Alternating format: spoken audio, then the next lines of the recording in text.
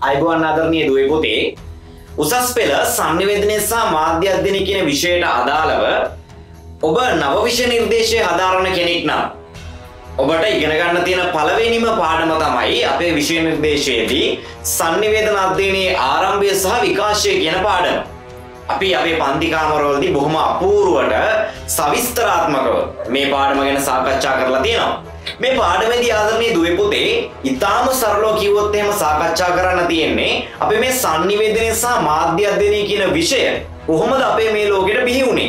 එහෙම නැත්නම් ලෝකේ පටන් ගත්ත දවසේ ඉඳලා මේ වෙනකන් sannivedanayත් එක්ක තාක්ෂණය දියුණු වෙමින් තාක්ෂණයත් එක්ක sannivedanaya දියුණු වෙමින් ඔය ඔක්කොමත් එක්ක මිනිස්සු හිතන පතන විදිය භාෂාව දැනුම මේ හැම එකක්ම ටිකෙන් ටික ටිකෙන් ටික දියුණු වේගෙන ඉස්සරහට ඇවිල්ලා කොහොමද මේ වර්තමානයේ තියෙන තැනට යනකම් sannivedanaya දියුණු වෙලා තියෙන්නේ කියන කාරණාවේ ඉතිහාස කතාව ගැන තමයි ඉගෙන ගන්න තියෙන්නේ.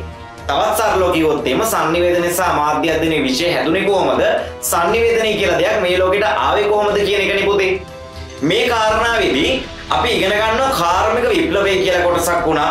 ඒ වගේම මේ ලෝකයේ කාර්මික විප්ලවයෙන් පස්සේ පළවෙනි ලෝක යුද්ධය කියලා දෙයක් වුණා. ඒත් එක්කම දෙවනි ලෝක යුද්ධය කියලා දෙයක් වුණා. මේ පළවෙනි සහ දෙවන ලෝක යුද්ධ කාර්මික විප්ලවය වගේ දේවල් හේතු කරගෙන අලුත් අලුත් නිෂ්පාදන බිහි වුණා.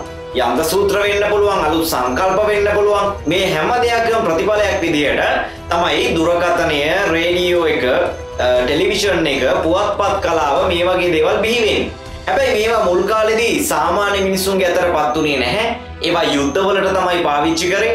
ඒම නැත්තම් යුද්ධමය අවශ්‍යතාවලට තමයි පාවිච්චි කරේ. යුද්ධය අවසාන වුණාට පස්සේ අර විදිහට හොයාගත්ත නව නිර්මාණ ටික සාමාන්‍ය මිනිස්සු අතරට පත් වුණා කියන කාරණාව අපි අපේ පාඩම් වලදී ඉතාමත් සවිස්තරාත්මකව කතා කරලා තියෙනවා. ඒකෙදි ගුග්ලිමෝ මාකෝනි හොයාගත්ත ගුවන් විදුලිය. ඒ වගේම ජොහැන්ස් ගුටෙන්බර්ග් කාර්මික විප්ලවය සමය වෙනකොට හොයාගෙන තිබුණ මුද්‍රණ යන්ත්‍රය. ඒ වගේම ජෝන් ලොගී බෙයාඩ් හොයාගත්ත රූපවාහිනිය වගේ sannivedanට අදාළ දේවල් වලින් කොහොමද මිනිස්සු ඉතනින් එහාට sannivedana ගනුදෙනුව කරේ කියන කාරණාව අපි කතා කරලා තියෙනවා. ඒකෙදී සංනිවේදන සහ මාධ්‍ය අධ්‍යයනයේ විෂය හදාරන ඔයාලට පුතේ කතා කරන්න තියෙන්නේ බොහොම සරලව ගත්තොත් පළවෙනි ලෝක යුද්ධයක් වුණා. දෙවන ලෝක යුද්ධයක් වුණා. ඒ වගේ ප්‍රතිඵල විදියට සංනිවේදන මෙවලම් දියුණු වීම සහ බිහිවීම යන ආදී කාරණා සිද්ධ වුණා කියන දේනේ හැබැයි අපි එතනින් එහාට නතර වෙන්නේ නැතුව අපේ මේ වීඩියෝ පාඩම් මාලාවලදී අපි කලින් වීඩියෝ වලදී කතා කරලා තියෙනවා පළවෙනි ලෝක යුද්ධය කියලා එකක් ලෝකේ ඇති වුණේ කොහොමද? ඒ පළවෙනි ලෝක යුද්ධය නිසා මොනවගේ ප්‍රතිඵලද සිද්ධ වුණේ කියන දේවල් ගැන වැඩිදුර අධ්‍යයනය කිරීමක් සිද්ධ කරලා තියෙනවා. ඒක ගැන ඔබට අපේ YouTube channel එකට ගිහිල්ලා හොයලා බැලුවොත් හොයාගන්න පුළුවන්. අපි පළවෙනි ලෝක යුද්ධය පිළිබඳව සාමාන්‍යයෙන් sannivedana සහ මාධ්‍ය අධ්‍යයනය හදාරන ශිෂ්‍යයෙක්ට හදාරන්න නැති වුණත් අපේ දැනුමට කරුණු එකතු කරගන්න. අපේ වටේ පිටේ තියෙන්නේ මොන වගේ දේවල්ද? අපි ඉතිහාසයේ හැදිලා තියෙන්නේ කොහොමද කියන කාරණාව හැම විෂයක් සම්බන්ධයෙන්ම දැනගෙන ඉන්න එක ඉතාමත් හොඳ දෙයක් නේද ඔය පොතේ? එනිසා ඔන්න අපි ඒ උත්සාහය අරගෙන තියෙනවා. අද දවසේදීත් අපි ඉතාමත් අපූරු විදියට ඔබට තවත් අලුත් දැනුම් කොටසක් එකතු කරන්නටයි සූදානම් වෙන්නේ. ඒ තමයි දෙවන ලෝක යුද්ධය කියන කාරණාව. පළවෙනි ලෝක යුද්ධයෙන් පස්සේ දෙවන ලෝක යුද්ධය ඇති වෙනකොට මොන වගේ කාරණාද ලෝකෙ සිද්ධ වුණේ? ඒකත් එක්ක බිහිවෙච්ච sannivedana උපකරණ ඒ වගේම sannivedana ගනුදෙනුව සිද්ධ වෙච්ච දේවල් වගේ දේවල් අපි පාඩම් වලදී ඉතාම අපූර්වට අපේ sannivedana සහ මාධ්‍ය අධ්‍යයනය කියන විෂයට අදාළව කතා කරලා තියෙනවානේ. නමුත් අපිට කතා කරන්නට නෑ මොකද්ද මේ පළවෙනි ලෝක යුද්ධය කියන්නේ කියලා විස්තරාත්මකව. මොකද්ද මේ දෙවන ලෝක යුද්ධය කියන්නේ කියලා විස්තරාත්මකව. එහෙම නැත්නම් මොකද්ද මේ කාර්මික විප්ලවය කියන්නේ කියලා විස්තරාත්මකව. අපිට තියෙන්නේ ඊටමත් සරලව මෙන්න මෙහෙම දේවල් ලෝකේ වුණා කියන කාරණාවත් එක්ක sannivedana සහ මාධ්‍ය අධ්‍යයනයට අදාළ දේවල් එකතු පහදු කරගෙන යන ගමනක් විතරයි. හැබැයි අද දවසේදී ඔන්න අපි සූදානම් වෙනවා දෙවන ලෝක යුද්ධය ගැන ඔබට කරුණු කාරණා ඉතාමත් සමීපව ඉතාමත් සවිස්තරාත්මකව ඉදිරිපත් කරන්නට මේකෙන් ඔබට යම්කිසි කරුණු කාරණාවක් එකතු කරගන්නට හැකියාවක් තිබුණොත් ඔබ විභාගෙට එන උත්තරේ ලස්සන වෙයි ඔබගේ දැනුමට අලුතෙන් යමක් එකතු කරගන්නට හැකියාව ලැබෙයි. එහෙම කිසිම දෙයක් නොවුනත් පුතේ මේ ලෝකේ ඔබ ජීවත්වෙනට පටන් ගන්නට කලින් මම ඔබේ පරම්පරාව මගේ පරම්පරාව එමනත්තන් අපිට කලින් හිටපු පරම්පරාව වගේ මිනිස්සු මේ ලෝකෙ ජීවත්වෙන්න පටන් ගන්නට කලින් මොනවද මේ ලෝකයේ සිද්ධ වෙලා තියෙන්නේ කියන කාරණාව හරි ඔබට අඩුම තරමේ දැනගන්නට හැකියාවක් ලැබේ. එනිසා මේක ඉතිහාසය පිළිබඳ හදාරන්නට කැමති අයට උදව්වක් වේ ඒවගේම පලවෙනි නිසා දෙවන ලෝක යුද්ධ පිළිබඳව දැනගන්නට කැමති අයට උදව්වක් වේ ඒ වගේම සංනිවේදනය සහ මාධ්‍යධනයට අදාළව තියෙන පළවෙනි පාඩමේ ඉගෙනගන්නට තියෙන සංනිවේදනක්දනේ ආරම්භය සහ විකාශය කියන පාඩමට අදාළව ඔබට ඉගෙනගන්නට තියෙන පළවෙනි සහ දෙවන ලෝක යුද්ධවලට අදාළව මොනවගේ දේවල්ද මේ ලෝක සිද්ධ වනේ කියන දේවල් විෂයට අදාළවත් ඔබට වැඩිදුර ඉගෙන ගන්නට හැකියාවක් තිබෙයි කියලා අපි විශ්වාස කරනවා. එහෙනම් ඔබ සියලු දෙනාට ආරාධනා කරනවා මේ පාඩමත් එක්ක අවසාන වෙනකම් රැඳී සිටින්න මේ අමතර දැනුම එකතු කරගන්න. ඔබේ ඉතිහාසයේ ගුරුවරයා ඔබ ඉතිහාසයේ විෂය හදාරන කෙනෙක් නම් එහෙම නැත්නම් ඔබ සාමාන්‍ය පෙළ ඉතිහාසයේ විෂය හදාරලා තිබෙනවා නම් තියෙනවා නම් අනිවාර්යයෙන්ම තියෙනවානේ අන්න ඒ අවස්ථාවවලදී ඔබට මීට වඩා හොඳට කියලා දීලා ඇති. නමුත් අපි මේ වැඩසටහනේදී සූදානමින් ඉන්නවා මේ දෙවන ලෝක යුද්ධයට අදාළව වෙච්ච කරුණු කාරණා ටික ඊටාම සවිස්තරාත්මකව. හැබැයි කරුණෙන් කරුණ කරුණෙන් කරුණ අවශ්‍යම කරුණු ටික විතරක් අරගෙන මුල සිට අගට දෙවන ලෝක යුද්ධය පිළිබඳ විස්තරයක් කරන්න. රයිට්. අපි එහෙනම් හොයලා බලමු මොකද්ද මේ දෙවන ලෝක යුද්ධය කියන කියන්නේ කියලා. දෙවන ලෝක යුද්ධය ගැන කතා කරන්න කලින් පුතේ අපිට කලින් වගේම පළවෙනි ලෝක යුද්ධය ගැන මතක් කරන්න සිද්ධ වෙනවා. පළවෙනි ලෝක යුද්ධය ඔයාලා දන්නවනේ 1914 දී ආරම්භ වෙලා 1918 වෙනකොට අවසාන වෙනවා. සම්පූර්ණයෙන්ම අපි මේ ගැන සවිස්තරාත්මක විස්තරයක් පළවෙනි ලෝක යුද්ධයට අදාළ පාඩම් මාලාවේදී සාකච්ඡා කරා. ඒත් එක්කම තමයි මේ පළවෙනි ලෝක යුද්ධය අවසාන වෙනකොට පුතේ ජර්මනිය තමයි වැරදිකාරය බවට පත් වෙන්නේ. ඇතරම ජර්මනිය කරපු ක්‍රියාකලාපය නිසා තමයි මේ පළවෙනි ලෝක යුද්ධය යුද්ධයක් තරමටම දියුණු වෙන්නේ. එහෙම නැත්නම් යුද්ධයක් තරමටම ලොකු වෙන්නේ. කොහොම හරි අවසානයේදී ජර්මනිය වැරදිකාරය බවට පත් වෙනවා. ජර්මනියට ජයග්‍රහණය කරන්න බැරි වෙනවා. ජර්මනිය පරාජයට පත් වෙනවා. පරාජයට පත් වුණාට පස්සේ වර්සේල්ස් ගිවිසුම අත්සන් කරනවා. මේ වර්සේල්ස් ගිවිසුමත් එක්කම ජාතීන්ගේ සංවිධානය කියලා සංවිධානයක් පිහිටුවා ගන්න ඔය එක්සත් ජාතීන්ගේ සංවිධානයම අපිට කතා කරන්න තියෙනවානේ අන්න එක්සත් ජාතීන්ගේ සංවිධානය බිහිවෙන්න කලින් බිහිවෙච්ච සංවිධානය තමයි ජාතින්ගේ සංවිධානය. මේ ජාතින්ගේ සංවිධානය බිහි වෙලා ජර්මනිය සීයට සීයක්ම සම්පූර්ණයම වැරදිකරුවා බවට පත් වෙලා ඒත් එකම ජර්මනිය ඇතුළේ හමුදාවන් නඩත්තු කරන්න තහනම් කරලා ඒවගේම ජර්මනිට විශාල වශයෙන් සම්බාධක පනවලා ජර්මනිය අන්ත පරාජයකට ආර්ථික වශයෙන් දේශපාලනික වශයෙන් සමාජී වශයෙන් සංස්කෘතික වශයෙන් මිකි නොකී හැම පැත්තකින්ම ලක් කරනවා. හැම පැත්තකින්ම ජර්මණය රටක් වශයෙන් පරාජයට පත්වෙනවා මේ කරුණු කාරණා එක්ක නැවතත් ලෝක යුද්ධයක් ඇතිවෙයි කියලා හිතන්නට මිනිස්සු පෙළඹෙන්නේ නැහැ. නමුත් අපි පළවෙනි ලෝක යුද්ධයට අදාළ වීඩියෝ එකේදීත් කතා කරන්නේ පුතේ අල්ලුවියට ගිනි පුපුරු ඉතුරු වෙනවා වගේ ටිකෙන් ටික ටිකෙන් ටික අර ගිනි පුපුරු එකතු වෙලා ආයෙත් ආයෙත් මහා විශාල ගින්දරක් ඇවිලෙන්න තරම් ටිකෙන් ටික ටිකෙන් ටික ගින්දර එකතු වෙන ගමන් තිබුණා. ඒ නිසා තමයි අපිට දෙවන ලෝක යුද්ධයක් ගැන අහන්න හම්බ වෙන්නේ. දෙවන ලෝක යුද්ධයක් මේ ලෝකෙ සිද්ධ වෙන්නේ. පුතේ පළවෙනි ලෝක යුද්ධේ 1914 පටන් අරගෙන 1918 වෙනකන් ගෙවිලා යනවනේ. 1918 පළවෙන් ලෝක යුද්ධය අවසාන වුණාට පස්සේ එදස් නමසේ විස්ස වෙනකොට තමයි ජාතින්ගේ සංවිධානය එහෙම බිහිවෙලා නැවතනම් මේ ලෝක යුද්ධ සිද්ධ වෙන්න තියන් නෑ රටවල් අතර කියලා කට්ටිය ඔක්කෝම රටවල් හැම එකක්ම එකතු කරගෙන මේ සංවිධානය වෙලා බොහොම එකමුතුව ඉන්න උත්සාහ කරන්න. කොහමුණත් මේ හැම ක්‍රියාකලාපයක්ම තියෙන්නේ අවුරුදු විස්සක් වගේ කාලයක් විතරයි. එදස් නමසය දහටේ ඉඳලා තවවුරුදු විස්සක් ගෙවුණට පස්සේ ඔන්න නැවතත් දෙවන ලෝක යුද්ධයක් ඇතිවෙන්න කට්ටිය එහෙම මෙහෙන් අරාදිනවා. එක එක ප්‍රශ්න ආයෙත් ලෝකෙ මතු වෙන්න පටන් ගන්නවා. කොහොමුණත් පුතේ මේ මේ වෙනකොට පළවෙනි ලෝක යුද්ධය වෙනකොට ඇමරිකාව බල සම්පන්න රටක් වෙනවනේ. ඇමරිකාව බිස්නස් කරනවා හොඳට නේ හැම රටකටම වගේ වෙළඳාම් කරනවා ඒ වගේම ඔවුන්ට අවශ්‍ය පහසුකම් සම්පාදනය කරනවා අවියායුධ විකුණනවා. ඒත් එක්කම ඒ යුද්ධ තියෙන රටවල් වලට හිටපු පෝසත් ධනවත් වංශවත් මිනිස්සුන්ව තමන්ගේ රටට පදිංචියට අරගන්න ඔය වගේ එක එක උපාය මාර්ග ඇමරිකාව පාවිච්චි කරලා පස්සේ කාලෙකදී මතකනේ අපි පළවෙනි ලෝක යුද්ධයට අදාළ වීඩියෝ එකේදී කතා කරා පුතා එයාලාගේ සාමාන්‍ය නෞකාවක් මගී ප්‍රමාණ නෞකාවකට ප්‍රහාර එල්ල වෙනවා. මේ ප්‍රහාර එල්ල වෙනකොට තවදුරටත් බලාගෙන ඉන්න බැරි ඇමරිකාවත් යුද්ධයට එකතු වෙලා මධ්‍යම පාර්ශවයට විරුද්ධව මිත්‍ර පිළ විදිහට එකතු වෙලා සටන් කරනවා. ඒකත් එක්ක තමයි කොහොමරි අවසානයේදී ඇමරිකාව මහා බලවතෙක් බවට පත් වෙන්නේ. ආර්ථිකමය අතින් සහ දේශපාලනය අතින්. ඒ වගේම යුද්ධමය හැකියාව අතින්. ඉතාමත් හොඳ තැනකට එන්න පුළුවන් වෙලා තියෙන පළවෙනි ලෝක යුද්ධය ඉවර වෙන කාලෙ වෙනකොට. කොහොම හරි මේ මේ ඇමරිකාව වගේම හරි හරියට සටන් කරන සටන්න සටන් කරන්න ආර්ථිකය නම් ආර්ථිකය පැත්තෙන් දේශපාලනය නම් දේශපාලනය පැත්තෙන් මේ හැම එකක් එක්කම පුතේ රුසියාවත් ඉතාමත් හොඳ තත්වකට ඇවිල්ලා ඉන්නවා රුසියාවේ වෙනකොට සමාජවාදය ස්ථාපනය වෙච්ච රටක් බවට පත් වෙලා රුසියාවස්සෙත් විප්ලව සිද්ධ වෙලා මේ ඓතිහාසික විප්ලව ගණනාවක් සිද්ධ වෙලා රුසියාව සමාජවාදී රටක් විදිහට තමයි ඉන්නේ. කියන්නේ ධනවාදී රටක් නෙවෙයි සමාජවාදී රටක් විදිහට ඉන්නවා. මේ සමාජවාදී රටක් විදිහට රුසියාව ටික ටික ටික ටික දියුණු වෙමින් පැවතගෙන එනවා. ඒත් එක්කම තමයි මේ අපි ඇතුළුව ආසියානු රටවල් අතරේ මේ ජපානය කියන නම එහෙම මෙහෙන් ටික ටික ටික ටික වැඩිපුර ඇහෙන්න පටන් ගන්නවා. ජපානයක් ටිකෙන් ටික ටිකෙන් ටික දියුණු වෙමින් දියුණු වෙමින් ඉස්සරහට එන්න උත්සාහ කරන ගමන් තමයි ඉන්නේ මේ කාලේ වෙනකොට. කොහොම වුණත් පුතේ මේ පළවෙනි ලෝක යුද්ධයෙන් පස්සේ පරාජයට පත්වෙන ජර්මනු ජාතිකයෙන්. එමනත්තන් ජර්මන් වැසියන් ඇත්තරම මේ යුද්ධයට කැමති වුණේ නෑනි.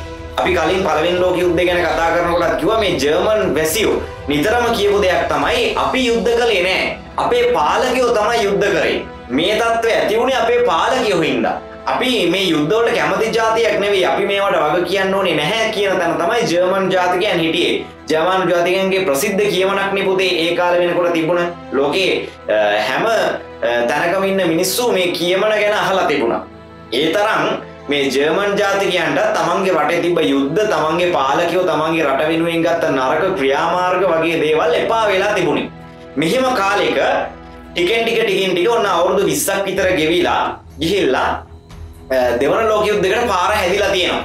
කොහොමනත් පුතේ යුද්ධයක් ඇති වුණත් නැති වුණත් මේ කාලේ වෙනකොට යුරෝපය ආශ්‍රිතව.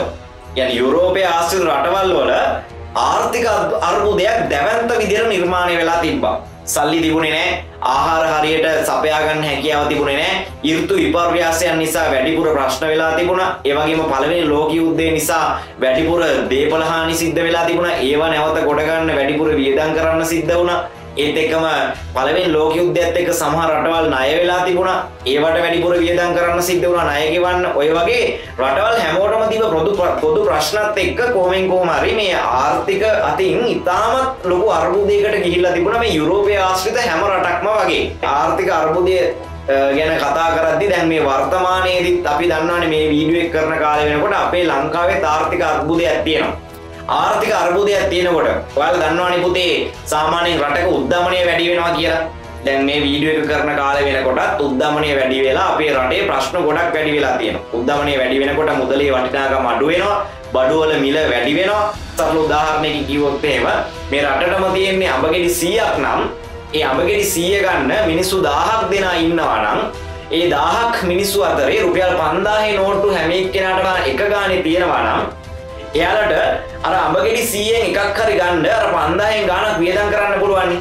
හැබැයි අඹගෙඩි සීය ප්‍රමාණය එහෙමම තියෙද්දී අඹගෙඩි ටික වෙනස් වෙන්නේ නැතුව අර මිනිස්සු දහස් දෙන අතරට තව රුපියල් පන්දාහයි නෝට්ටු ගානනවා එතකොට ඉස්සල්ලාම එක්කෙනෙක් ගාව තිබ්බේ රුපියල් පන්දහක් විතරයි තවත් රුපියල් පන්දහක් අපස්සර හම්බෙන තොට එක්කෙනෙක් රුපියල් දහදහක් තියෙනවා. හැබැයි අම්බ අඹගෙඩි ප්‍රමාණය වැඩි වෙලානේ අඹගෙඩි සීයමයි. එතකොට ඉස්සර අඹගෙඩියකට වියදම් කරන්න මිනිස්සු බලාපොරොත්තුනේ රුපියල් 100යි නම් දැන් අර රුපියල් 10000ක මුදලක් අරගෙන එක මිනිස්සෙක් රුපියල් 200ක් 300ක් 400ක් 500ක් හරි වියදම් කරන තැනට එනවා. කොහොම හරි අඹගෙඩියක් ගන්න උවමනාව ආවම. ඕක ආදේශ කරලා බලන්න පුතේ හැම රටකරම තියෙන හැම භාණ්ඩයකකට එතකොට මේ මේ දරුණු ප්‍රශ්නය එම නැත්තම් මේ දැවන්ත ආර්ථික අර්බුදය ඒ වෙනකොට යුරෝපය ආශ්‍රිතව තිබුණා. මේ යුරෝපය ආශ්‍රිතව තිබ්බ ප්‍රශ්නය නිසා ගොඩක් රටවල් පීඩාවට පත් වෙලා තමයි හිටියේ. ඒත් එක්කම මිනිස්සුන්ට විශ්වාසයක් නැති වෙලා තිබුණා මේ ජර්මන් ජාතිකයන්ටත් වගේම අනිත් රටවල් වල මිනිස්සුන්ටත් මේ ලිබරල් වාදය එහෙම නැත්නම් ධනවාදී සමාජ ක්‍රමය ධනවාදී ආර්ථිකය ඔස්සේ අපිට ජයග්‍රහණයක් දියුණුවක් අත්පත් කරගන්නට හැකියාවක් ලැබෙන්නේ නැති වෙයි අපිට බැරි වෙයි කියන කාරණාව. කොහොමද මේ ජර්මන් ජාතිකයෝ මේක ඉතාමත් හොඳින් විශ්වාස කරන්න පටන් ගත්තා. ජර්මන් ජාතිකයෝ අතරේ තිබ්බ කතාවක් තමයි පුතේ මේ මේ ලිබරල් වාදය එමනතන් සමාජවාදය දැන් රුසියා වගේ රටක් ගත්තොත් එම සමාජවාදය තමයි විශ්වාස කර. යාලගෙරට සමාජවාදී ආණ්ඩුව ඒ සමාජවාදයටවත් එමනත්තන් අනිත්‍රකොල්ලෝ තිබ ලිබරල්වාදයටවත් ධනවාදයටවත් විමුක්තියක් ලබා දෙන්න හැකියාවක් නැහැ. අපිට ඕනි කරන දේවල් අපිට ලබා දෙන්න හැකියාවක් නැහැ. ඒ නිසා අපිට ඌමනා දේවල් ලබාගන්නට නම් අපිට නාසිවාදය ෆැසිස්ට්වාදය කියන දේ ලබාගන්නට එමනත්තන් ස්ථාපනය කරන්න සිද්ධ වෙනවා අපේ රටේ කියන දේ. මේ ජර්මණය ඇතුළ ටිකෙන් ටික ටිකටික ව්‍යාප්ත වෙන්න පටන් ගත්තා. ෆැසිස්ට් වාදය එමනත්තන් නාසිවාදය ගැන කතා කරද්දි පුතේ මේ ෆැසිස්ට් කියලා කියන්න. එමනත්තන් ෆැසිස්ට් කියන වචනේ ඉතාලියෙන් එන ඉතාලි ආභාෂය ගන්න වචනයක්. මේක තේරුම තමයි දර මිටිය එමනතන් කෝටු මිටිය කියන තේරුම්. සිංහලෙන් ගත්තොත් එහෙම. නිකං හිතන්න මේක ඇතුළේ විනය එකමුතු බව ශක්තිමත්කම වගේ දේවල් ගොඩක් මේ වචනයෙන් දෙන්න පුළුවන්කම තියෙනවාපුතේ ඉතන්න දරමිටියක් එකට තියෙනවා. ඒක තොර කඩලා නමලදාන්න අමාරුයි. බිඳහෙලන් අමාරුයි. ඒවගේම ශක්තිමත් බව තියෙනවා. දරමිටියක් එකට තමයි ඉන්නේ එක මිටිය ඇතුළේ තියෙන ඔක්කොම ටික. තොර විනය ගැන අපිට අදහසක් ගන්න පුළුවන්. මෙන්න මේ වගේ අදහසකින් තමයි මේ ෆැසිස්ට් කියන වචනේ එන්නේ. මේකත් එක්ක ෆැසිස්ට් වාදය එනවා. මේ ෆැසිස්ට් වාදයත් එක්ක තමයි ඇමරිකා වගේ රටවල් එක පැත්තකින් බලවත් වෙලා ඉද්දි ජපානය වගේ රටවල් තව ටික ටික දියුණු වෙද්දි අනිත් පැත්තේ රුසියාව වගේ රටවල් තව ටික ටික දියුණු වෙද්දි මේ ජර්මනිය ඇතුලේ ටික ටික ටික ටික තමන්ට දියුණු වෙන්න පුළුවන් විදිහක් විදියට මිනිස්සුන්ගේ මතය වෙනස් කරමින් ඉන්න. මේ ෆැසිස්ට්වාදී ඒත් එක්කම තමයි මේකට පළවෙනි සහ ප්‍රබලම හේතුව තමයි පුතේ හිට්ලර් කියන්නේ. හිට්ලර් කිව්වම අපි කවුරුත් නම දන්න කෙනෙක්නේ. හිට්ලර් කියලා කියන්නේ ජර්මනියේ හිටපු ඒකාධිපති පාලකෙක්. මෙයා තමයි මේ ෆැසිස්ට්වාදය බිහි කරන්නේ ජර්මනිය තුළ. මෙයා තමයි මේ ෆැසිස්ට්වාදයෙන් තමයි අපේ රට ජයග්‍රහණය කරන්න පුළුවන් කියලා මිනිස්සුන්ට ඒත්තු ගන්නවන්න මේ හිට්ලර් ඇතුළු කණ්ඩායම කොහොමරි එදදා සරසි අසු නමේ අප්‍රේල් විස්සේ තමයි හිට්ලර් ඉප දෙන්නේ එතකම එදස්නම්සේ හතලිස් පයි අප්‍රේල් තිහ වෙනකම් හිට්ලර් ජීවත් වෙනවා. අවසානයේ සියදි විනසාගෙන තමයි හිට්ලර් මේ ලෝකෙන් යන්නේ. අපි ඒක නිස්සහට කතා කරනවා. කොහොමරි මේ ජර්මනිය තුළ මේ ටිකෙන් ටික ටිකෙන් ටික ජාතිවාදී කාරණ ඉස්මතු වෙනවා. ජර්මනී කියන්නේ ආර්ය ජාතිය. අපි තරම් කවුරුත් නැහැ. අපි තමයි මේ ලෝකෙන ශ්‍රේෂ්ඨතම ජාතිය. අපි ජයග්‍රහණය කරන්න ඕනේ. අපි යටතේ හැම ලෝකෙම ඉන්න අනිත් රටක්ම ඉන්න ඕනේ. අපි තමයි ලෝක බලවතුන් වෙන්න ඕනේ. අපි තමයි විශිෂ්ටතම ජාතිය. අපි ශ්‍රේෂ්ඨයි මේ විදිහට. ගොඩක් ලොකු අදහස් ජාතිකවාදී අදහස් බිහි වෙන්න පටන් ගන්නවා පුතේ ජර්මනිය ඇතුලේ. මේකට ලොකුම හේතුවක් තමයි මේ පළවෙනි එක පැත්තකින් පළවෙනි ලෝක යුද්ධෙන් පීඩා විඳලා ඉන්නේ මිනිස්සුන්ටත් කර කියා ගන්න දෙයක් නැහැ. සම්බාධක පනවලා නීති රීති දාලා නිදහසේ ජීවත් වෙන්න බැරි තත්ත්වයක තමයි ජර්මන් වැසියන්නුත් ඉන්නේ. එතකොට මේ මිනිස්සුන්ටත් මොකක් හරි සහනයක් උවමනා වෙනවනේ. යුද්ධයක් ඉවර වෙලා පීඩාවට පත් වෙලා ඉන්න රටකට එහෙම ප්‍රශ්නයක් එන්න පුළුවන්. ඒකත් එක්කම අනිත් පැත්තෙන් මේ දේශපාල නිදහස ආරක්ෂා වගේ දේවල් ජර්මනියට නැති වෙලා තිබ්බ හින්දා ඒවා නැවත ලබාගන්නේ කොහොමද කියන කාරණාවත් මිනිස්සු අතර නිතරම කතාවක් විදිහට තිබුණා. ඕකෙන් ප්‍රයෝජනය ගන්නවා හිට්ලර්. හිට්ලර් කියලා කියන්නේ සාමාන්‍යයෙන් අපි දන්න විදිහට ඔයාලා දන්න ඔස්ට්‍රියානු ජාතිකයෙක් හිට්ලර් කියලා කියන්නේ පළවෙනි ලෝක යුද්ධයේදී ජර්මනිය වෙනුවෙන් සටන් කරපු සොල්දාදුවෙක්. සාමාන්‍ය සෙබලෙක්. මෙයා මේ පළවෙනි ලෝක යුද්ධය ඉවරුණාට පස්සේ මෙයාට අසනීප වෙලා එහෙම නැත්නම් ලෝක යුද්ධයෙන් තුවාල වෙලා හානි වෙලා මෙයා ස්පිරිතාල ඇඳේ ඉන්නකොට එමන්ත ලෙඩ ඇඳේ ඉන්නකොට පවා කියපු කාරණාවක් තමයි කොහොමරි ජර්මනි එක්සේසත් කරන්න ඕනි.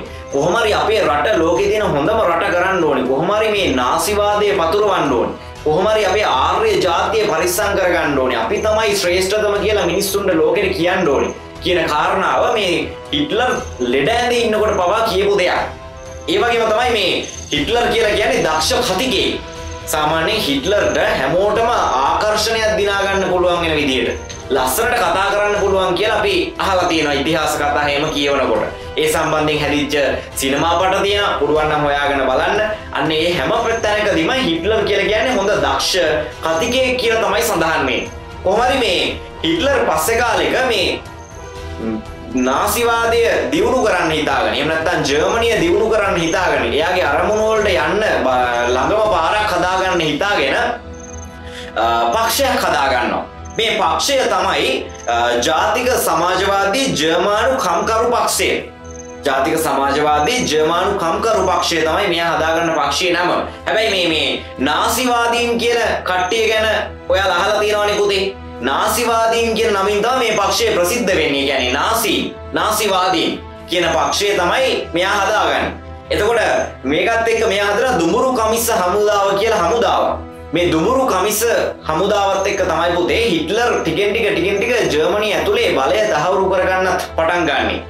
ටිකෙන් ටික ටිකෙන් ටික ලිබරල් වාදය අසමත් වෙලා තියෙන්නේ. ධනවාදය හරියන්නේ නැහැ. එත් එකම අපේ රට ටිකෙන් ටික පරිහානියට පත් වෙලා තියෙන්නේ. අපි ජයග්‍රහණය කරන්න ඕනේ. අපි ආයෙත් නැගී සිටින්න ඕනේ. ඒකට හරියන දේ තමයි නාසිවාදය. ඒකට හරියන විදිහ තමයි ෆැසිස්ට් ක්‍රමය කියලා මේ හිට්ලර් ඇතුළු පිරිස ටිකෙන් ටික ටිකෙන් ටික මේ ජර්මනිය ඇතුළේ තමන්ගේ මතය ප්‍රචාරණය කරන ගමන් තමයි ටිකෙන් ටික ඉස්සරහට එන්නේ. මේකට කොහොම හරි හිට්ලර්ට උදව් කරනවා ගොඩක් මිනිස්සු. හිට්ලර්ට උදව් කරනවා ජෝසෆ් ගොබෙල්ස් කියන කෙනා.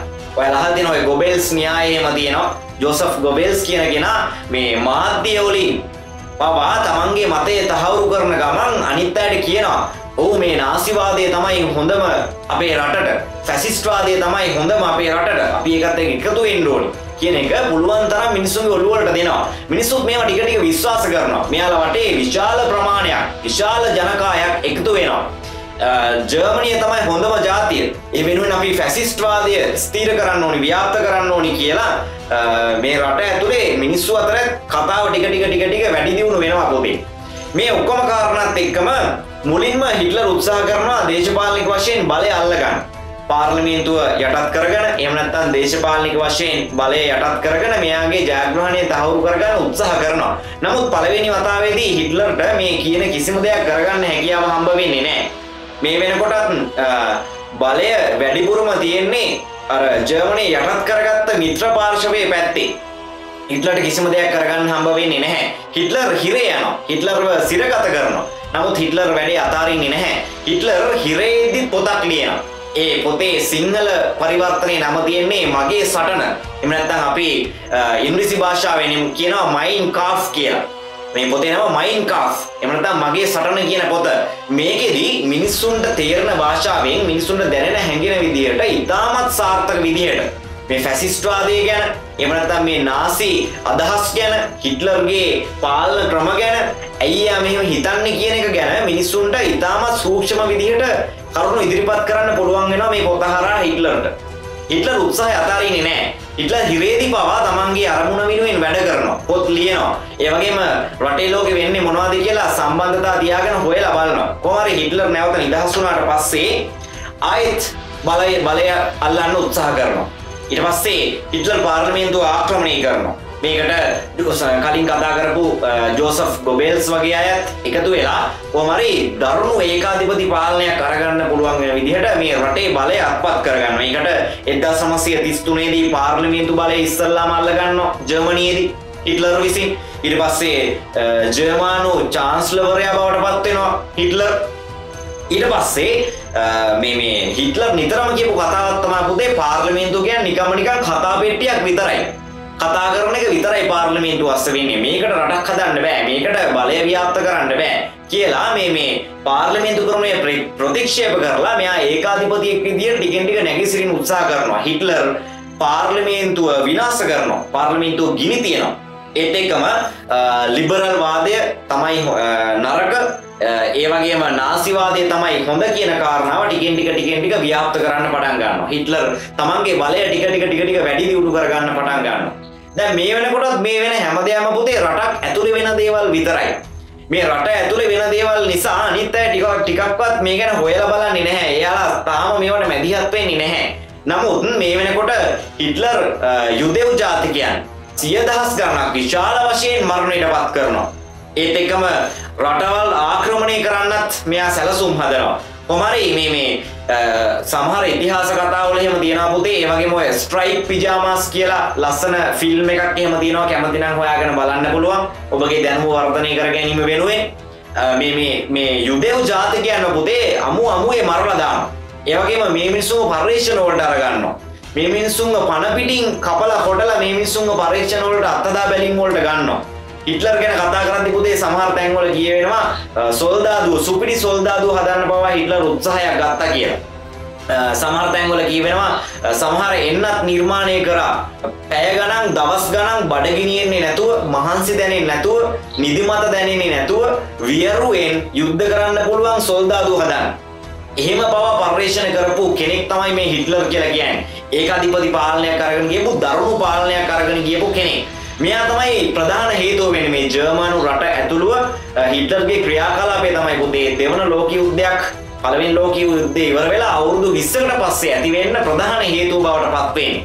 මේකත් එක්ක 1938 වර්ෂයේදී ජර්මනු ජාතික හිටලර් එහෙම නැත්නම් ජර්මනිය පාලනය කරන හිටලර් ඔස්ට්‍රියාව ආක්‍රමණය කරනවා පුතා. ඔස්ට්‍රියාව ආක්‍රමණය කරාට පස්සේ Uh, ටික කාලයක් ගියාට පස්සේ මේ uh, uh, තමන්ගේ රටත් එක්ක කලින් ජර්මනු සම්බන්ධතා පවත්වාගෙන ගියපු ප්‍රදේශයක් තමයි චෙකොස්ලෝවැකියාව කියලා කියන්නේ. චෙකොස්ලෝවැකියාවත් ආක්‍රමණය කරගන්නවා. ඒකෙත් තමන්ගේ බලය තහවුරු කරගන්න හිටලට හැකියාව ලැබෙනවා. මේ විදිහට දැන් ටිකෙන් ටික ටිකෙන් ටික රටවල් ආක්‍රමණය කරගෙන තමන්ගේ අර හිතේ ඇතුළේ තිබ්බ ආශාවන් ටික තමන්ගේ බලය තහවුරු කරගන්න හිටලර් බොහොම අපූර්වට කරගෙන යනවා. ඒ අතරේ දැන් ටික ටික මේක පුතේ රටවල් වල ඉන්න අනිත් බලවතුන්ට දැනෙන්න පටන් ගන්නවා. ඒ මිනිස්සුත් හොයලා බලනවා මොකද්ද මේ වෙන්නේ මේ හිට්ලර්ගේ ක්‍රියාකලාපය කොහෙන් කෙලවර වේද? දැන් මිනිස්සුන්ට ටික ටික දැනෙන්න පටන් අරන් තියෙනවා. ඒකදී අපි අහලා තියෙනවා මියුනික් සම්මේලනය කියලා සම්මේලනයක් අරගෙන මේ සම්මේලනයේට හිට්ලර්වත් කැඳවලා ඒ වගේම අනිකුත් දියුණුවයි කියන ප්‍රබල රටවල් විශාල ප්‍රමාණයක් එකතු වෙලා ඒ රටේ නායකයන් සාකච්ඡා කරනවා. හිට්ලර්ගෙන් අහනවා. දැන් ඔයා ජර්මනිය ජයග්‍රහණය කරා. ජර්මනිය ජයග්‍රහණය කළා. ඔයා ඕස්ට්‍රේලියා ඕස්ට්‍රියාව ආක්‍රමණය කරා. ඒ ඕස්ට්‍රියාව ආක්‍රමණය කරාට පස්සේ ඔයා නතරුනේ නැහැ ඔයා චෙකොස්ලෝවැකියාවත් ආක්‍රමණය කරනවා. මේ හැම එකක් එක්කම ඔයා මෙතනින් නතර වෙනවද? ඔයා මොකක්ද දැන් කරන්න ඉන්නේ කියන කාරණාව අහනවා. ප්‍රසිද්ධියේ ප්‍රශ්න කරනවා. අනිත් රටවල් වල සාමාජිකයන් ඇවිල්ලා. හිට්ලර් මෙතෙන්දි කියනවා නෑ මම මෙතනින් එහාට යුද්ධ කරන්නේ නැහැ. දැන් මගේ ක්‍රියාව අවසానයි මට අනිත් රටවල් එක්ක සම්බන්ධතාව පවත්වාගෙන ජර්මනිය ලෝකේ තියෙන හොඳම රටක් බවට පත් කරන්න තමයි ඕමනා වෙන්නේ. වගේ අදහසක් හිට්ලර් කියනවා. මියුනික් සම්මේලනයේදී. හිට්ලර් මේ විදිහට කිව්වට කවදාවත් මේක ඇත්තක් බවට පත්වෙන්නේ නෑ. හිටලර් ඔස්ට්‍රියාව ආක්‍රමණය කරලා චෙකොස්ලෝවැකියාව ආක්‍රමණය කරලා නතර වෙන්නේ නෑ. හිටලර් ටිකෙන් ටික ටිකෙන් ටික අනිත් රටවල් වලට තමන්ගේ බලය ව්‍යාප්ත කරන්න පටන් ගන්නවා. හිටලර් තවදුරටත් රට රටවල් වලට ආක්‍රමණ අරගෙන යනවා. හිටලර් තමන්ගේ බලය වෙනුවෙන් ගොඩාක් වැඩ කරන්න පටන් ගන්නවා. පුතේ හරියටම 1939 සැප්තැම්බර් පළවෙනිදා හිටලර් පෝලන්තය ආක්‍රමණය කරනවා. ඔන්න පුතේ ලෝක යුද්ධයකට අරාදින්න ලෝක යුද්ධයක් ඇතිවෙන්න ප්‍රධානතම කාරණාවක් සිද්ධ වෙනවා. එක්දා සංසිය තිස් නවේ සැප්තැම්බර් පලවෙනිදා පෝලන්තේ ආක්‍රමණය කරනවා හිටලර් ඇතුළු ජර්මනීඉන්න යුද බලකාය විසින්. ඒකත් එක්ක ලෝක යුද්ධයකට හේතු හැදෙනවා. අපි අර කලින් කතා කරපු යුදෙව් ජාතිකයන් ගැන නැවතත් මතක් කරනවා නම් පුතේ මේ ජර්මනිය ඇතුළු පිරිස යටත් කරගන්නවානේ පුතේ. දැන් පෝලන්තයත් ආක්‍රමණය කරලා රටවල් යටත් කරගන්නකොට පෝලන්තය කියන රටත් ආක්‍රමණය කරලා යටත් කරගෙන ඉවරයි. ඒත් එක්කම ඕස්ට්‍රියාවත් යටත් කරගෙන ඉවරයි. ඒ වගේම චෙකොස්ලෝවැකියාව මේ වගේ රටවල් විශාල ප්‍රමාණයක් දැන් යටත් කරගෙන එන ගමන් තමයි හිට්ලර් ඉන්නේ. මේ වගේ තමයි අර යුදෙව් ජාතිකයන් එම අමු අමුවේ මරලා දාපු සිරකඳුරුවේම තිබුණේ. අපි අහලා තියෙනවා අවුට්ස්විස්ට් බන්ධනාගාරය. මේක තිබුණේ පෝලන්තේ. ඒත් එක්කම බර්ග බෙල්සන් කියන බන්ධනාගාරය. මේක තිබුණේ ජර්මනී. ඒත් එක්කම බෙල්ෂක් කියන බන්ධනාගාරය. එම නැත්නම් බෙල්ෂෙක් බන්ධනාගාරය කියලාත් කියනවා. මේකත් පෝලන්තයේ තමයි තිබුණේ පුතේ. ඒත් එක්කම සොමිබෝර් බන්ධනාගාරය. මේකත් තිබුණේ පෝලන්තේ. මෙන්න මේ බන්ධනාගාරවල තමයි මිනිස්සුන්ව වද දීලා පරීක්ෂණවලට ලක් කරලා සාමාන්‍යයෙන් සත්තු ගාන්න අර කූඩු කරලා හරිම අමානුෂික විදියට පුතේ මිනිස්සුන්ට දඩුවම් කරලා මරලා දානවා. තමන්ගේ පාලනයට කැමති නැති ඒවගේම තමන්ගේ වැඩේ කරගත්තර පස්සේ අයින් කරලා දාන්න ඕනේ මිනිස්සුන්ව හිට්ලර් කෙලිම මරලා දානවා. ඒ මරලා දාන්නේ විශාල වශයෙන් අ, මිනිස්සු ඔක්කොම එකට එකතු කරලා ගෑස් ගහලා පුච්චලා මරලා දානවා වගේ දේවල් තමයි ඒ කාලේ හිට්ලර් පාවිච්චි කරපු දේවල්. මේ විදිහට මේ හිටලර්ගේ ක්‍රියාකලාපය ටිකෙන් ටික ටිකෙන් ටික වැඩි දියුණු වෙන්න පටන් ගන්නවා. පුතේ දැන් අපි ජර්මනිය පැත්තෙන් මේ ලෝක යුද්ධය ගැන කතා කරා වගේම අපි කතා කරලා බලන්න ඕනේ ඉතාලිය පැත්තෙනුත් පුතේ මේ ලෝක යුද්ධය සම්බන්ධව. ජර්මනිය ටිකෙන් ටික ටිකෙන් ටික ටිකෙන් ටික තමන්ගේ ආධිපත්‍යය උඩට අරන් එන්න උත්සාහ කරනකොට තවත් හේතුවක් හැදෙනවා ලෝක යුද්ධයට ඉතාලිය පැත්තේ. ඒ තමයි මේ ඉතාලියේ 1883 ඉඳලා 1945 වෙනකම් ජීවත් වෙච්ච බෙනිටෝ මුසෝලිනීගේ ක්‍රියාකලාපය. තවත් වැදගත් සහ ප්‍රධාන හේතුවක් බවට පත් වුණා. බෙනිටෝ මුසලිනි කියන්නේ ඉතාලියේ හිටපු අ, පාලකයෙක්. මේ පාලකයා අර ජර්මනියේදී වගේම ෆැසිස්ට්වාදය එමනත්තන් නාසිවාදය කියන දේවල් තමයි විශ්වාස කරේ. මේ අත්තර ජර්මානු ජාතකයන් ටිකෙන් ටික ආක්‍රමණ කරගෙන එනවා වගේ ඉතාලියත් ලෝකෙ දින බලවත් රටක් කරන්න හිතාගෙන මේ මේ බෙනීටෝ මුසෝලිනි ඇතුළු පිරිස ටිකෙන් ටික ටිකෙන් ටික ආම්, ආක්‍රමණ කරන්න සැලසුම් කරගෙන ඒ වගේම තමන්ගේ අ, රට සමාජවාදයෙන් අයින් කරලා ලිබරල්වාදයෙන් අයින් කරලා නාසිවාදයට එකතු කරගෙන කොහොමද ඉස්සරහට යන්නේ කියන එක ගැන සැලසුම් හදාගෙන හිටපු කෙනෙක්. මෙයාට එහෙම නැත්නම් මේ ඉතාලියට තව පුංචි අ, අමනාපකම් ටිකකුත් සිද්ධ වෙලා තියෙනවා මේ වෙනකොට. ඔයාලට මතකද පුතේ පළවෙනි ලෝක යුද්ධයේදී ඉතාලියත් සම්බන්ධ වෙලා ඉන්නවනේ මධ්‍යම පාර්ශවයට. පස්සේ කාලෙක අපි කතා වුණේ පුතේ මධ්‍යම පාර්ශවය අතහැරලා ඉතාලිය උදව් කරන්න පටන් ගන්නවා. ඉතාලිය සපෝට් කරන්න පටන් ගන්නවා මිත්‍ර පාර්ශවයට. මේකට වි- විශාල හේතු කාරණාවක් තිබුණා මේ අ, මධ්‍යධර්මී මුහුද ආක්‍රමණය කරන්න එහෙම නැත්නම් ඒකේ බලය අල්ල ගන්න අ, සැලසුම් තිබුණා. ඒ වගේම තමන්ගේ රටට අවශ්‍ය කරන දේශපාලනික බලය හදාගන්න සැලසුම් තිබුණා තවත් රටවල් ආක්‍රමණය කරගන්න තමන්ගේ යටතේ තියාගන්න සැලසුම් තිබුණා. මේ කිසිම දෙයක් හරියට කරගන්නට හැකියාවක් තිබුණේ නැහැ පුතේ. පළවෙනි ලෝක යුද්ධය අවසානයේදී. ඒ නිසා ඉතාලියට තිබුණා කර කියාගන්න බැරි වෙච්ච තාමත් ඉෂ්ට කරගන්න බැරි වෙච්ච අරමුණු ටිකක්. මේකත් එක්ක තමයි ඉතාලිය දැන් දෙවන ලෝක යුද්ධ කාලේ ටිකෙන් ටික ටිකෙන් ටික උඩට එන්නේ. මේ ඉතාලියේදී ඉතාලි ජාතිකවාදය. එහෙම නැත්නම් ජාතියක් වශයෙන් රටක් වශයෙන් ව්‍යාප්ත වෙන්න පටන් ගන්නවා ඉතාලි ජාතිකවාදය. ඒත් එකම ෆැසිස්ට්වාදය. එහෙම නැත්නම් නාසිවාදය තමයි මේ මිනිස්සු විශ්වාස කරන්නේ. මේ බෙනිටෝ මුසෝලිනි ඇතුළු පිරිස මේක මිනිස්සුන්ට ඒත්තු ගන්නමින් තමයි වැඩ කරන්න පටන් ගන්න. ටිකෙන් ටික ටිකෙන් ටික මේ ඉතාලියක් ඉතාමත් හොඳින් තමන්ගේ බලය ව්‍යාප්ත කරගෙන යනවා. ඒත් එක්කම තමයි ඉතාලියත් රටවල් ආක්‍රමණය කරන්න තීරණය කරනවා. එනිසා එක්තර අවස්ථාවකදී ඉතාලිය ඇබිනීසියාව ආක්‍රමණය කරන්න පටන් ගන්නවා. ඒක ජයග්‍රහණය කරනවා. ඉතාලිය යටතේ වුණ. දැන් ඇබිනීසියාවක් තියෙනවා. එතකොට දැන් රටවල් කිහිපයක්ම මේ දෙපැත්තෙන් තවත් රටවල් ආක්‍රමණය කරගෙන ඉස්සරහට යන ගමන් මේක දිහා අනිත් කට්ටිය බලාගෙන ඉන්නවා. ඒත් එක්කම තමයි පුතේ අපි ජර්මනිය පැත්තෙන් කතා කරා ඉතාලිය පැත්තෙන් කතා කරා. අ, දැන් අපිට කතා කරන්න තියෙනවා ජපානය පැත්තෙන් පුතේ මේ වෙනකොට ජපානය කියන්නේ ආවෘත ආර්ථිකයක් තියාගෙන හිටපු රටක් එහෙම නැත්නම් විවෘත නැති රටක් ඒ කියන්නේ තමන්ගේ රටේ තියෙන කෘෂිකර්මාන්තයෙන් තමන්ගේම දේවල් වලින් ස්වයංපෝෂිත වෙමින් වෙනත් රටවල් එක්ක කිසිම ගනුදෙනුවක් කරන්නේ නැතුව වෙළඳාමක් එහෙම නැත්නම් අ, වෙනත් කිසිම ගනුදෙනුවක් කරන්නේ නැතුව තමන්ගේ රටේ තියෙන දේවල් වලින්ම දේවල් හදාගෙන ඉස්සරහට දියුණු වෙන්න උත්සාහ කරපු රටක්. ඒ වගේම බොහොම ලොකු සංස්කෘතියක් තියෙන රටක්. ඔයාලා ඒක දන්නවා. ආවෘත ආර්ථිකයක් අපේ රටේ තිබුණානේ පුතේ නේ. ජේ.ආර් ජයවර්ධන මහත්තයා අපේ රටට විවෘත ආර්ථිකය හඳුන්වා දෙන්න කලින් අපේ රටේ තිබ්බේ ආවෘත ආර්ථිකයක්. අපි ලෝකෙට විවෘත වෙලා හිටියේ නෑ. ආර්ථිකමය වශයෙන් දේශපාලනික වශයෙන් අපි ලෝකෙට විවෘත වෙලා හිටියේ නෑ. ඒකත් එක්කනේ පුතේ කර්මාන්ත ශාලා විදේශ සමාගම් බහුජාතික සමාගම් වගේ දේවල් අපේ ලංකාවෙත් ස්ථාපනය වෙන්න පටන් ගන්නේ. කොහොම හරි ඔය ආවෘත ආර්ථික සංකල්පය එහෙම නැත්නම් විවෘත නැති ආර්ථික සංකල්පයක් තමයි එහෙම නැත්නම් අ, ක්‍රමයක් තමයි ජපානයේ තිබුණේ. මේ මේ මේ කාලෙදී අ, ටිකෙන් ටික ටිකෙන් ටික ඇමරිකාව ජපානයත් එක්ක මිත්‍ර වෙන්න පටන් ගන්නවා. ඇමරිකාවේ උදව් උපකාර ජපානයට හම්බ වෙන්න පටන් ගන්නවා. ඒකෙදී 1867 දී ඔය මුට්ෂිබිතෝ කියන ජපන් කුමාරයා බලයට පත් වුණාට පස්සේ ඒ රජ පරම්පරාව බලයට පත් වුණාට පස්සේ ජපානය කෙලින්ම විවෘත ආර්ථිකයක් බවට පත් කරනවා. වෙන රටවල් වලට රටට ඇත්- ඇතුල් වෙන්නත් රටින් එළියට යන්නත් ආර්ථිකමය වශයෙන් දේශපාලනික වශයෙන් අ, අවසර හම්බ වෙනවා. මේකත් එක්ක වෙළඳාම දියුණු කරගන්නවා. ඒත් එකම තමයි කාර්මික ප්‍රබෝධයක් ඇති වෙනවා. කර්මාන්ත ශාලා ඇති වෙලා ඒ වගේම වෙන රටවල් වලින් ඇවිල්ලා මේ රටවල් වලත් එක්ක ගනුදෙනු කරලා ව්‍යාපාර දියුණු වෙලා තමන්ගේ රටේ නිෂ්පාදන වෙන රටවල් වලට ගිහිලා විවෘත ආර්ථික ප්‍රතිපත්ති වෙළඳ ගන්නවා.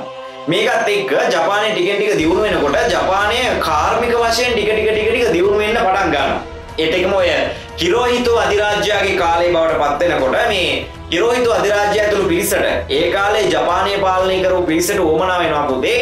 දැන් වෙන රටවල් ආක්‍රමණය කරගෙන යනවනේ ජර්මනිය තවත් රටවල් ආක්‍රමණය කරගෙන යනවානේ ඉතාලිය මේ වගේම මේ ආසියානු කලාපයේ හොඳම බලවතාවෙන්ඩ පුංචි ආසාාවක් ඇති වෙනවා ජපානය ඇතුළු පිරිසට. එනිසා මේ හිරෝහිතු අධිරාජ්‍යයාගෙන් පස්සේ මේ ආසියාවේ බලය අල්ලගන්න තමයි පුතේ කටයුතු කරන්න ජපානය.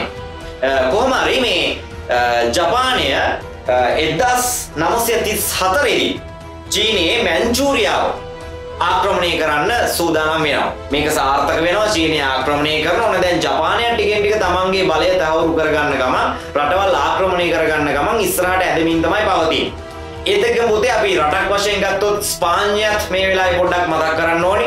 ස්පාන්යත් ටිකෙන් ටික ටිකෙන් ටික රටවල් එහෙම අල්ලගෙන ඒ වගේම රටවල් අතර යුද්ධ ප්‍රකාශ කරගෙන තමන්ගේ බලය ටික ටික වැඩි දියුණු කරගෙන එනවා. කොහොම නමුත් ජර්මනිය ඉතාලිය එවගේම ජපානය කියන රටවල් තුන තමයි පුතේ මේ දෙවන ලෝක යුද්ධෙදී රටවල් ආක්‍රමණය කර ගනිමින් යුදමය විදිහට එමනත යුද්ධ කරන ගමන් තමන්ගේ බලය තහවුරු කරගන්න උත්සාහ කරන කණ්ඩායම් තුනක් බවට පත්තෙන් මේ කණ්ඩායම් තුනම එමනත්ත මේ මේ රටවල් තුනම එක කණ්ඩායමක් බවට පත්වෙනවා මේ රටවල් තුනේම තියෙන ප්‍රධාන නගරවල්. එකන්නේ ජර්මණයේ තියෙන බර්ලින් නගරය ඒවගේම ඉතාලියේ තියෙන රෝමය ඒවගේම ජපානයේ තියෙන ටෝකියෝ කියන නගර තුන එකතු වෙලා එක අක්ෂයකට පිහිටලා. අපි එකට කියෙනවා ඇක්සිස් කියලා. එමනත්තං ඇක්සිස් ටීම් එක.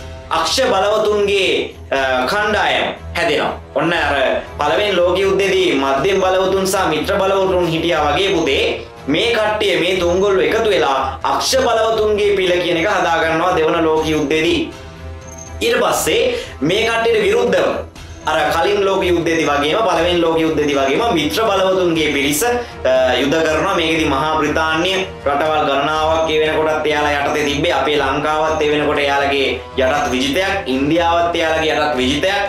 ඒ නිසා තමයි ජපානයට ඉන්දියාවයි අපේ රට ලංකාවයි දෙක ආක්‍රමණය කරන්න බැරි වුණේ. ඒ හැර ආසියාවේ තියෙන ගොඩක් රටවත් ඔය මියන්මාරය වෙන්න පුළුවන් ඒම නැත්තම් මැලේෂයා වෙන්න පුළුවන් තායිලන්තේ බුරුමිය වෙන්න පුළුවන් ඔයගේ රටවල් ගණනාවක් ආක්‍රමණය කරගන්න ජපානයටත් හැකියාව ලැබිලා තිබුණා වෙනකොට. ඒකෙදී කොහමරි දැන් මිත්‍ර බලවතුන්ගේ කණ්ඩායම වෙනම කණ්ඩායමක් හදාගෙන ඉන්න ඔය රටවල් එකතු වෙලා ඒකට රුසියාව එතකොට ඇමරිකාව මහා බ්‍රිතාන්‍ය ඊට පස්සේ ප්‍රංශය කියන රටවල් එකතු වෙලා හිටියා. ප්‍රංශයටත් පුතේ සම්බන්ධයක් තියෙනවනේ කලින් ජර්මනියයි ප්‍රංශයයි අතර යුද්ධ ඇති වුණානේ නිතරම පළවෙනි ලෝක යුද්ධයේදී. එතකොට ජර්මනි අනිත් පැත්තේ ඉන්නකොට මේ පැත්තේ ප්‍රංශය ඉන්නවා. ඔය විදිහට දැන් කණ්ඩායම් දෙකක් හැදිලා ඉන්නේ. අශ්ව බලවතුන්ගේ කණ්ඩායම සහ මිත්‍ර බලවතුන්ගේ කණ්ඩායම කියලා කණ්ඩායම් දෙකක් හැදිලා දැන් යුද්ධේ ඉස්සරහට යනවා. මේ කාලේ වෙනකොට පුතේ දැන් යුද්ධ කරද්දී ඔයාලට සාධාරණ හේතුවක් එන්න ඕනි පුතේ. අපි කතා කරානේ ජාතින්ගේ සංවිධානය කියන එකක් නිර්මාණය වුණා කියලා එමනතන් ලීග් of නේෂන්ස් කියලා කියන අපි ඉංග්‍රිසි භාෂාවෙන් මේ මේ ජාතින්ගේ සංවිධානය බිහිවෙනකොට අපි කතා කරන්නේ මේ ජාතින්ගේ සංවිධානය නිර්මාණය කරගත්තේ නැවත ලෝක යුද්ධ මේ ලෝකයේ ඇති නොවෙන්න වග බලාගන්න කියලා නමුත් දැන් අවුරුදු විස්සක් ගියත් මේ ජාතින්ගේ සංවිධානය ඒ විදිරම තිබුණත් මේ කිසිම රටක් නවත්තන්න හැකියාව ලැබිලා නැහැ. ඒකටත් හේතු කාරණා කිහිපයක් තියෙනවා පුතේ.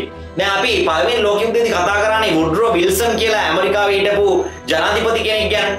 මේ ඇමරිකාවට වුඩ්රෝ විල්සන් කියලා කියන්නේ සාම කාරණා ඉතාමත් ගැඹුරින් සාකච්ඡා කරපු කෙනෙක්. අපි පළවෙනි වීඩියෝ එකේදීත් කතා කරා පුතේ සාමාන්‍යයෙන් මේ මේ වුඩ්රෝ විල්සන් කියන කෙනා ඉදිරිපත් කරපු සමහර සාම කාරණා එමනතම් සමහර කරුණු ඇත්තරම මේ මිහිපිට ක්‍රියාත්මක කරන්න පුළුවන් මට්ටමේ සාමකාමී දේවල් ඇත්තරම එහෙම සාමය ආරක්ෂා කරන්න පුළුවන් මේ ලෝකෙ ඉඳීද කියන තැනට තරම් ගැඹුරට සාකච්ඡා වුණා. ඒ තරම් සාමකාමී කරුණු මෙයා කතා කරා කියලා ඉතිහාසයේ සඳහන් වෙනවා. කොහොම හරි මේ මෙයාට සාමයේ ප්‍රතිපත්ති තිබුණා මේ වුඩ්රෝ විල්සන් කියන කෙනාට. නමුත් මෙයාට ඇමරිකාව ඇතුළේ ඉතාමත් හොඳ අවධානයක් දිනා ගැනීමේ හැකියාව හම්බෙන්නේ නැහැ පුතේ. මේ සංගමය ඇත්ත ඒ කියන්නේ මේ ජාතින්ගේ සංගමිත සංගමයට දැන් ටික ටික රටවල් ඔක්කොම එකතු වෙමින් ඉන්න ඉන්න ඕනේ නේ පුතේ. එතකොටනේ හැම රටක් එක්කම යුද්ධ කරන්නේ නැහැ කියලා සම්මුතියක් එකඟතාවයක් හදාගන්න පුළුවන් හැම රටක්ම තිබුණොත්නේ. නමුත් මේ ඇමරිකාව සම්බන්ධ වෙන්නේ නැහැ. වුඩ්‍රෝ විල්සන්ට ඇමරිකාවේ සෙනෙට් සභාවෙන් අවසර හම්බ වෙන්නේ නැහැ. අවසර දෙන්නේ නැහැ මේ සංගමයේ වැඩ කටයුතු මේ සාමකාමීව කරගෙන යන්න. ඒ වගේම එයාගේ අදහස් වලට අවසර හම්බ වෙන්නේත් නැහැ. ඒවගේම තමයි රුසියාව කොහොමත් මේකට සම්බන්ධ වෙන්නේ නෑ. මොකද රුසියාව සමාජවාදී රටක්. එතකොට එයාලා කියන ඔයාලගේ ධනවාදී ප්‍රතිපත්තිත් එක්ක අපිට එකගතාවයක් නෑ. අපි සමාජවාදය තමයි විශ්වාස කරන්නේ. ඒ නිසා අපිට මේකට සම්බන්ධ වෙන්න විදිහක් නෑ කියලා රුසියාවත් අයින් වෙනවා. ඒත් එක්කම ජර්මනිය පුතේ කොහොමත් සම්බන්ධ වෙන්න විදිහක් නෑනේ. දැන් ජර්මනිය නිසානේ පළවෙනි ලෝක යුද්ධයත් ඇති වුණේ. දැන් ජර්මනිය ටිකෙන් ටික ප්‍රතික්ෂේප වෙලා තිබ්බේ කාලේ ආර්ථික සම්බාධක පනවලා ඒ රටේ මිනිස්සුන්ට ගොඩාක් ලොකු ප්‍රශ්න ඇති කරවලා යටත් විජිතයක් විදිහට තියාගෙන ඉන්න පුළුවන් මට්ටමට හදාගන්න තමයි පළවෙනි ලෝක යුද්ධයේදී උත්සාහ කරේ. දැන් ජර්මනිය අන්ත අසරණ වෙලා හිටපු හින්දා ජර්මනියටත් කරගියා ගන්න දෙයක් නැති නිසා ජර්මනියට සම්බන්ධ වෙන්නේ නැහැ මේ මේ ජාතිකීය සංවිධානය. නමුත් දැන් වෙනකොට දැන් මේ පස්සේ කාලේ වෙනකොට ජර්මනිය ආක්‍රමණ කරලා ආයේ දියුණුවලා නැගිටගෙන ඇවිල්ලා ඉවරයිනේ. එතකොට ජර්මනිය මේ ජාතින්ගේ සංවිධානයට නැහැ. රුසියාව මේ ජාතින්ගේ සංවිධානය ඇතුළේ නැහැ. මේක නිර්මාණය කරන්න ඉදිරිපත් කරපු ඇමරිකාව ඇතුළු පිරිස ජීවත් වෙච්ච ඇමරිකාවත් මේ සංගමේ නැති වෙනවා. සේට් සභාව අනුමැතිය හම්බ වෙන්නේ නැති හින්දා වුඩ්‍රෝ විල්සන්ගේ සාමයේ ප්‍රතිපත්ති වලට.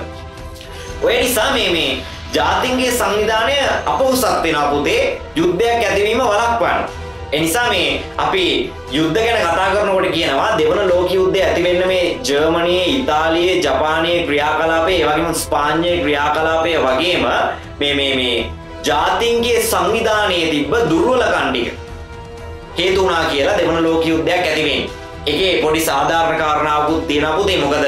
ජාතින්ගේ සංවිධානය හරියට සාර්ථකව කරගන්න පුළුවන් වුණා නම් කාටවත් යුද්ධ කරන්න හැකියාවක් අවස්ථාවක් හම්බ වෙන්නේ නැහැ ජාතින්ගේ සංවිධානය තෙවෙනකොට අසාර්ථකයි. පළවෙනි ලෝක යුද්ධයේ ඉවර වෙලා අවුරුදු 20ක් ගියාට පස්සේ. කොහොම හරි ඔය වෙද්දී එදදා සමසය තිස්ස නවේදී අපි කලින් සාකච්ඡා කරා වගේම පුතේ මේ ජර්මනිය පෝලන්තය ආක්‍රමණය කරනවානේ. ඒත් එක්ක තමයි දැන් මේ යුද්ධ ඔක්කොම ඇතිවෙන්නේ එතකොට පෝලන්තේ වෙනුවෙන් පෙනී ඉන්නවා මිත්‍ර බලවතුන්ගේ කණ්ඩායම. මිත්‍ර බලවතුන්ගේ කණ්ඩායමට එතකොට ඉන්නේ මහා බ්‍රිතාන්‍ය, රුසියාව, ඇමරිකාව වගේ කට්ටිය. මෙයාලා උදව් කරන පෝලන්තයට. නමුත් එයාලා උදව් කරත් පුතේ ජර්මනිය ඒ වෙනකොට කොයි තරම්නම් බලවත් බලවත් වෙලා තිබුණාද කියලා කතා කරනවා නම් පුතේ කොයි තරම්නම් බලවත් වෙලා තියෙනවද කියන කාරණාව ගැන අපි හිතලා බැලුවොත් මේ හැම එක්කෙනෙක්ගෙම මිත්‍ර බල කණ්ඩෑමේ හැම කෙනෙක්ගෙන්ම පෝලන්තයට උදව් හම්බ වුණා. ජර්මනියට පුළුවන් වෙනවා පුතේ මාසයක් වගේ කාලයක් ඇතුළත පෝලන්තය ජයග්‍රහණය කරන්න පොලන්තය ආක්‍රමණය කරගන්න. ඒ යුද්ධ දිනන්න පුළුවන් වෙනවා. ඒ තරම් බලවත් වෙලා හිටිය පුතේ ඒ වෙනකොට ජර්මනිය ඇතුළු කණ්ඩායම. හිටලර්ගේ ඒකාධිපතිත්වය හිටලර්ගේ නාසිවාදය ජර්මනිය වෙලාගෙන තිබුණා. ජර්මණය ඇතුළේ වගේම ජර්මණයෙන් පිට එයාලගේ යටත් විජිත විදියට තිබ යටත් රටවල් විදිර තිබ රටවල්ලොලත් මේ හැම තැනකම ඒකාධිපතිත්තේ තමයි තිබුණ හිටලර්ගේ. කොමරි ඕකෙදී මේ ජර්මනිය දැ පෝලන්තේ ආක්‍රමණය කරට පස්සේ අර කලින් ලෝක උද්දෝල් දිත්පුතේ ජර්මනිය ප්‍රංශය අතර ප්‍රශ්න වුණානි. ඔය විදියට ඔන්න දැන් ජර්මනිය ආයත් ප්‍රංශය ආක්‍රමණය කරන්න යනවා. ප්‍රංශය ආක්‍රමණය කරද්දි පුතේ ප්‍රංශය ඇත්තරම යුද්ධකින් තොරව පසු පසිනවා ඒකෙදී ප්‍රංශයේ පැරිස් සගනුවර ජර්මනි අල්ල ගන්නවා පුතා. හේතුව තමයි ප්‍රංශය පැරිස් නගරය නිදහස් කලාපයක් බවට පත් කරනවා. නිදහස් කලාපයක් බවට පත් කරලා අඩියක් පස්සර ගන්නවා ප්‍රංශය. අපි පස්සේ මේක නැවත අල්ලගමු අපේ රටේ කොටසක් මේක නිසා අපි මේක ආය අල්ලගන්න ඕනේ. නමුත් දැන් නෙවෙයි වෙලාව. අපි මේක නිදහස් කරලා මේ මේ මේ මේ නගරේ පැරිස් නගරේ නිදහස් කරලා අපි අඩියක් පස්සර ගමු කියලා ප්‍රංශය පසුබසිනවා.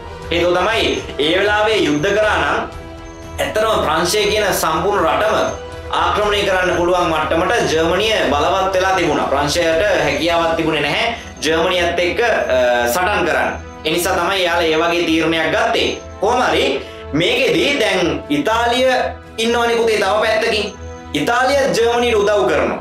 එතකොට ඉතාලිය ජර්මනිය වගේ රටවල් එකතු වෙලා ඒ වගේම අනිත් පැත්තෙන් ජපානය වගේ රටවල් එකතු වෙලා තමයි මේ මේ යුද්ධය කරගෙන යන්නේ. එතකොට ඉතාම බල සම්පන්න කණ්ඩායමක් හැදෙනවා. මේක දිහා බලාගෙන ඉන්නකොට පුතේ ඒ වෙනකොටත් රටවල් සිය ගණනක් ආක්‍රමණය කරගෙන යටත් විජිත විදියට තියාගෙන හිටපු මහා බ්‍රිතාන්‍යයට තවදුරටත් බලාගෙන ඉන්න බැරි වෙනවා. ඇත්තටම අපේ බලය නැති වෙයිද? අපේ රටවල් ප්‍රමාණය අඩු වෙලා යයිද? අපේ තියෙන දේශපාලන හයිය අඩු වෙලා යයිද කියලා සාධාරණ සැකයක් ඉන්න පටන් ගන්නවා මහා බ්‍රිතාන්‍යයට.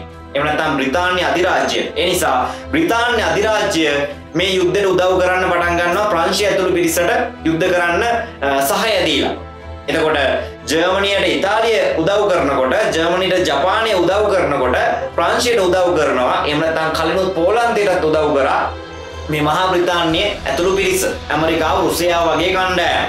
කොහමරි මෙයාලට උමනා වුණේ තමන්ගේ බලය බල පරාක්‍රමය ඒ විදිහට තියාගන්න. මොකද අපි කලිනුත් ඔය ඉතිහාස කතාවලදී අහලා තියෙනවා ඔය නැපෝලියන් බොනපාට් පවා උත්සාහ කරා එංගලන්ත අධිරාජ්‍යයට බ්‍රිතාන්‍ය අධිරාජ්‍ය යටත් කරගන්න දස දහස් ගානක සේනාව අරගෙන කියලා නමුත් හැකියාව ලැබුණේ නැහැ කියලා අපි අහලා තියෙනවා. දැන් මේ මේ ආක්‍රමණ අස්සේ මෙයාලගේ ආධිපත්‍යය තියාගන්න තමයි මේ බ්‍රිතාන්‍යයට උවමනා වුණේ. ඒ නිසා ඔන්න එයාලත් යුද්ධෙට එකතු වෙලා කණ්ඩායමකට උදව් කරන්න පටන් ගන්නවා. කොහමරි මේ කාලේ වෙනකොට පුතේ ජපානයේ ටිකෙන් ටික දැන් ආක්‍රමණ කරගෙන රටවල් අල්ලගෙන කාර්මික වශයෙන් දියුණු වෙලා එයාලා ටික ටික ආසියාව පැත්තේ බලය තහවුරු කරගන්න උත්සාහ කරනවා.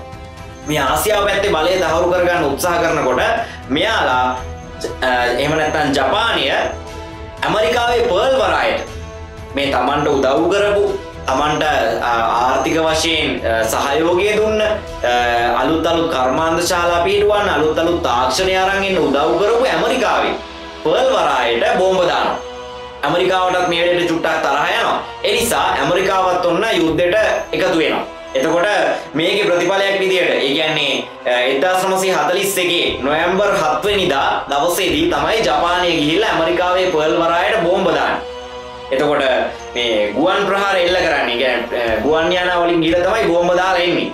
මේකට විරුද්ධව තමයි මේ ඇවිස්සෙච්ච ඇමරිකාව අපි තවදුරටත් බලාගෙන ඉන්න ඕනේ මේ අපේ උදව්වෙන් දියුණු වෙච්ච ජපානය අපිටම බෝම්බ ගහනවා. අපි ඇයි බලාගෙන ඉන්නේ කියලා ඇමරිකාවත් යුද්ධය ප්‍රකාශ කරනවා. ඒකෙදි මේ ඇමරිකානු ජනාධිපති ඒ කාලේ හිටපු ෆ්‍රැන්ක්ලින් රූස්වෙල් ජනාධිපතිවරයා තමයි යුද්ධ ප්‍රකාශ කරන්නේ. අපි ජපානයට විරුද්ධව කෙලින්ම යුද්ධ ප්‍රකාශ කරනවා කියලා ප්‍රසිද්ධිය කියනවා. ඒත් එක්කම තමයි යුද්ධය ප්‍රකාශ වෙන්නේ.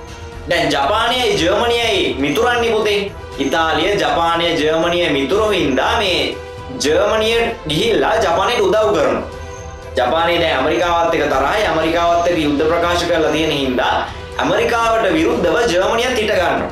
ජපානයේ පැත්තෙන් හිට ගන්නවා. ඕකත් එක්ක දැන් තව තවත් මේවා ඇවිල්ලා ගිහිල්ලා ජර්මනිය බ්‍රිතාන්‍ය ආක්‍රමණය කරන්න එක පැත්තකින් උත්සාහ කරනවා. ඒ වගේම ටිකෙන් ටික ටිකෙන් ටික මේ යුද්ධ වැඩි වෙනවා රටවල් අස්සේ. ඔය ASCII ජර්මනියට තව උමනාවක් එනවා පුතේ රුසියාව ආක්‍රමණය කරන්න. ඔය කලින් සඳහන් කරපු නැපෝලියන් බොනපාට් කියන කෙනා ඇතුළු පිරිස රුසියාව ආක්‍රමණය කරන්න උත්සාහ කරනවානේ. ඔය ඉතිහාස කතාවල තියෙනවා පුතේ ලක්ෂ ගානක සෙනගක් අරන් ගිහිල්ලා ලක්ෂ 10ක් විතර සෙනගක් අරන් ගිහිල්ලා නැපෝලියන් බොනපාට්ට අන්තිමට ඉතුරුනේ රුසියාව ආක්‍රමණය කරන්න කියලා 20000ක සෙබළු ප්‍රමාණයක් විතරයි ආපහු වෙද්දී.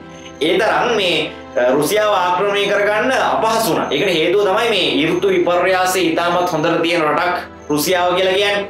ඒ වගේම භූමි ප්‍රමාණය විශාලයි. මෙයාලා ඒවා එයාලගේ යුද්ධ උපක්‍රම විදිහට පාවිච්චි කරා. මේ කිසිම දෙයක් ගණන් ගන්නේ නැතුව ජර්මනිය ඇතුළු පිරිස එහෙම නැත්නම් හිට්ලර් ගිහිල්ලා රුසියාවත් ආක්‍රමණය කරනවා.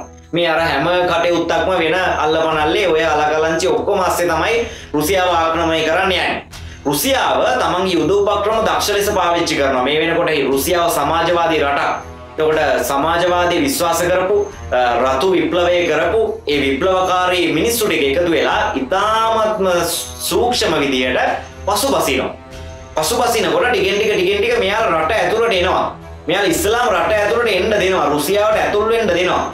ජර්මනය රුසියාවට ඇතුල් වෙනකොට අර අටුකොටු ඔක්කො විනාශ කරගෙන වගාවන් විනාශ කරගෙන ගෙවල් දොරවල් විනාශ කරගෙන තමයි එන්නේ.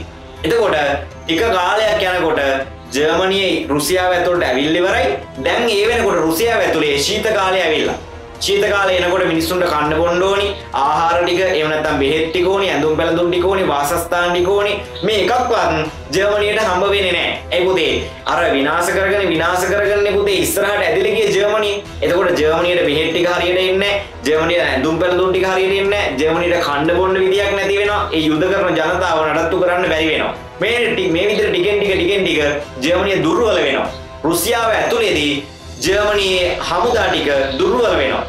දුර්වල වන එකම් බලන් ඉඳලා කෙලින්ම රුසියානු හමුදාව එමත රුසියාවේ කණ්ඩායම් ඇවිල්ලා වට කරලා ජර්මනියට ගහනවා. එහෙම නැත්නම් ජර්මනියට යුද්ධ ප්‍රකාශ කරනවා. මේ විදිහට එක පැත්තකින් රුසියාව එනවා ජර්මනිය ආක්‍රමණය කරගෙන එතකොට අනිත් පැත්තෙන් ටිකෙන් ටික ටිකෙන් ටික ප්‍රංශය එනවා ජර්මනිය ආක්‍රමණය කරගෙන. මේ පැත්තෙන් රුසියාව එනවා මේ පැත්තෙන් ප්‍රංශය එනවා. මැදදී ජර්මනිය තනි වෙනවා. අවසානයේ දෙගොල්ලෝ එකට එකතු වෙලා ජර්මනිය සම්පූර්ණයෙන් පරාජය කරන එක තමයි ඔවුන්ගේ ප්ලෑන් එක වෙලා තිබුණේ. ඔවුන්ගේ සැලසුම් බවට පත් වෙලා තිබ්බේ. මේක හරියටම කරගන්න පුළුවන් වෙනවා. ඒ නිසා අපි කියනවා මේ ලෝක යුද්ධවලදී අමානුෂික යුද්ධයක් කරපු මිනිස්සු තමයි ජර්මනිය ඇතුළු කණ්ඩායම හිටලර් ඇතුළු කණ්ඩායම. ඒ වගේම දෙවන ලෝක යුද්ධයේදී අමානුෂික කණ්ඩෑමක් විදියට ජර්මණය ඇතුළු පිරිස පෙනී ඉන්නකොට බොහොම මානුෂ්‍යය විදියට අනිත් සාමාන්‍ය මිනිසුන්වත් බේරගෙන අනිත් සාමාන්‍ය මිනිසුන් උදව් කරගෙන ඒ මිනිසුන් පුළුවන් තරම් ආරක්ෂා කරගෙන යුද්ධය ජයග්‍රහණය කරන්න ප්‍රධාන හේතුවක් වුණේ රුසියාව කියලා සාමාන්‍යයෙන් ඉතිහාස කතාවල ලියවෙනවා. ඒක පොඩි සාධාරණ හේතුකුත් තියෙනවා. මොකද රුසියාව එක පැත්තකින් අර ජර්මනිය පරාජය කරගෙන අනිකුත් රටවල් වලට ඉතාලිය පැත්තට එහෙම එනකොට සම්පූර්ණයෙන්ම මානුෂීය මෙහෙවරක් කරා. සාමාන්‍ය ජනතාව අයින් කරා. සාමාන්‍ය ජනතාවට කන්න බොන්න දුන්නා කියලා ඉතිහාසයේ සඳහන් වෙනවා. මේ වෙනකොට පුතේ ඇමරිකාවේ ක්‍රියාකලාපය ජපානයේ පැත්තට ගිහිල්ලා ඉවරයි. ජපානයට බෝම්බ හෙලනවා. ඒක අපි තව ටිකකින් කතා කරනවා. ඊට කලින් මේ මේ ඉතාලියට එනකොට පුතේ ප්‍රංශයත් රුසියාවත් එකතු වෙලා තමන්ගේ ආක්‍රමණශීලී උපක්‍රමශීලී යුද්ධමය කටයුතුත් අරගෙන ජර්මනිය පරාජය කරගෙන ටිකෙන් ටික ඉතාලියට එනකොට ඉතාලියේ බෙනිටෝ මුසොලිනි කියන කෙනාව ඉතාලිය මිනිස්සුම ගල් ගහලා මරලා දානවා. ඒ කියන්නේ ඉතාලිය මිනිස්සුත් මේ වෙනකොට යුද්ධයකට කැමති නැහැ. නමුත් ඉතාලියේ මිනිස්සුම මෙයාව ගල් ගහලා මරලා දානවා. එතකොට ඉතාලියේ ක්‍රියාකලාපයත් නිකම්ම අඩපණ වෙලා යනවා. ඊට පස්සේ අපිට කතා කරන්න තියෙන්නේ ජපානය කොහොමද යටත් වුණේ කියන කාරණාව ගැන. පුතේ දැන් ජපානය අර තමන්ට උදව් කරපු ඇමරිකාවේ පර්ල් වරායටත් බෝම්බ ගහලා ආසියාවේ අනිත් අයවත් යටත් කරගන්න උත්සාහ කරලා වෙනම සැලසුමක් ක්‍රියාත්මක කරගෙන යනවනේ කොහොම හරි ඇමරිකාව බෝම්බ හෙලනවා. මේ ඇමරිකාව බෝම්බ හෙලන්න කලින් අපි අර කිව්වේ පුතේ ජපානය ආසියාවේ තියෙන හැම රටකම බෝම්බ හෙලුවා කියලා.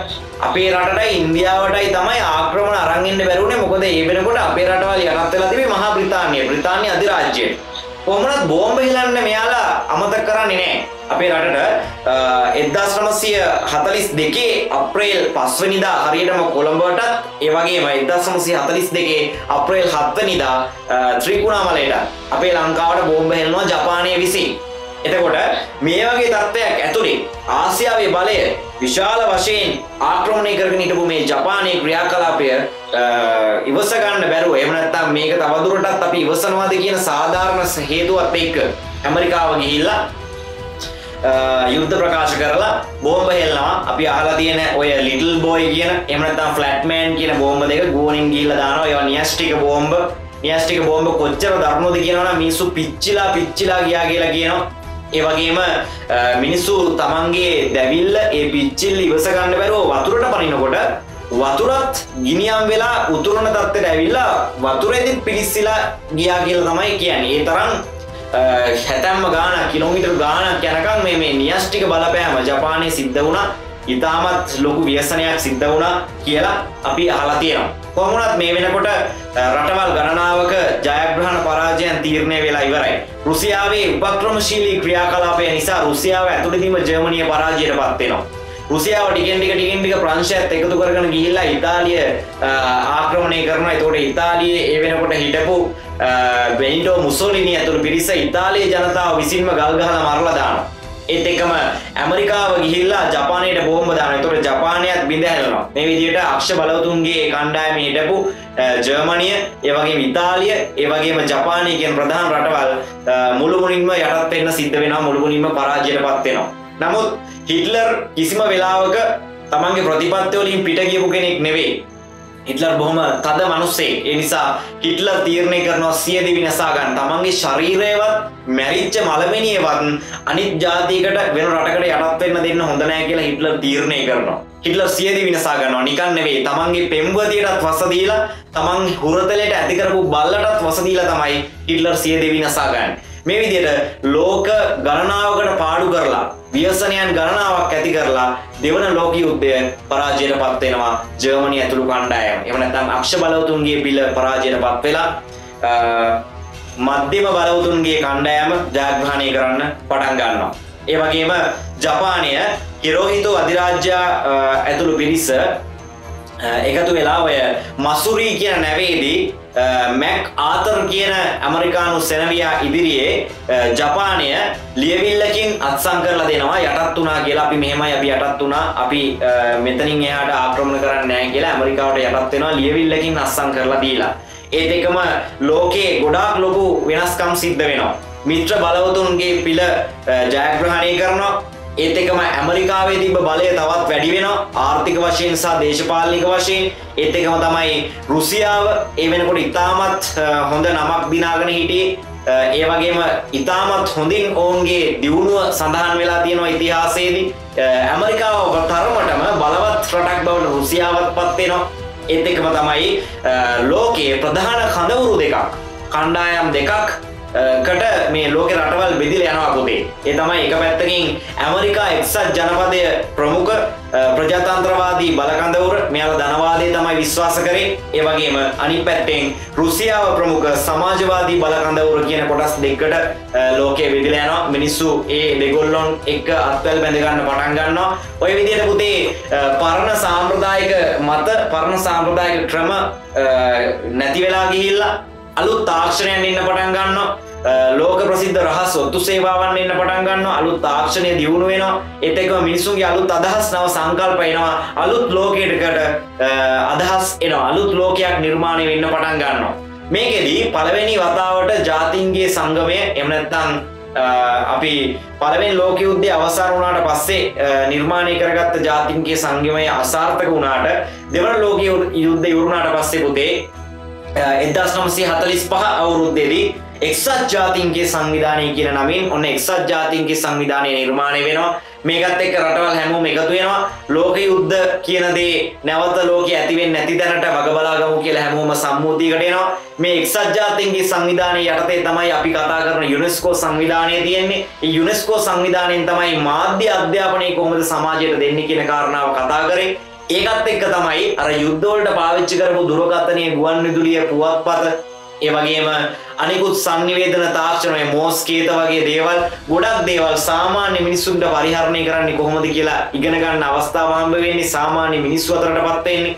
මේ මේ සංනිවේදනය පැත්තෙන් වගේම ලෝකෙ දෙන හැම ශේෂත්‍රයකින්ම අලුත් ලෝකයකට මග විවෘත වෙනවා. දෙවන ලෝක යුද්ධයෙන් පස්සේ. කොහොමුණත් දෙවන් ලෝක යුද්ධ ඉවර වෙන්නේ නිකන් නෙවෙයි. දෙවන ලෝක යුද්ධ ඉවර වෙනකොට අලුත් ලෝකයක් බිහි වෙන්න පාර හැදුනට රටවල් ගොඩකට අර බ්‍රිතාන්‍ය අධිරාජ්‍යයෙන් නිදහස් හම්බුණාට 1948 දී අපේ ලංකාවටත් නිදහස් හම්බ වෙනවනේ. ඔය වගේ නිදහස් හම්බුණාට මොන දේවල් වුණත් ලෝක යුද්ධ ඉවරනකොට මිනිස්සු 10000 ගාණක් මේ පොළොවට පස් වෙලා ඉවරයි. මිනිස්සු 10000 ගණනක් රටවල් ගණනාවක මේ සුසිය දහස් ගණනක් ලේහලල ඉවරයි පුතේ මේ පොළොවට. එනිසා නැවත යුද්ධයක් නොවෙන තැනට වග බලාගන්න එකට වැඩ කරන එක ඔබගේත් මගේත් යුතුකමක් කියලා අපි මේ පාඩමට අමතර කරුණක් විදිහට මතක තියාගන්න ඕනි. එහෙනම් ඔන්න අද දවසේදී අපි සාකච්ඡා කරේ සංනිවේදන අධ්‍යයනයේ ආරම්භය සහ විකාශය කියන පළවෙනි පාඩමට අදාළව අපිට ඉගෙන ගන්න තියෙන දෙවන ලෝක යුද්ධය කියන කාරණාව ගැන. මේ දෙවන ලෝක යුද්ධයෙන් පස්සේ වෙච්ච දේවල් ගොඩක් අපි ඉස්සරහට තවත් වීඩියෝ මාලාවකින් ඔබට සමීප කරන්න සූදානම්. පුළුවන් හැම වෙලාවකම අලුත් අලුත් දැනුම එකතු කරගන්න පුතේ දැනුම තියෙන මනුස්සයාට කවදාවත් වරදින්නේ නැහැ.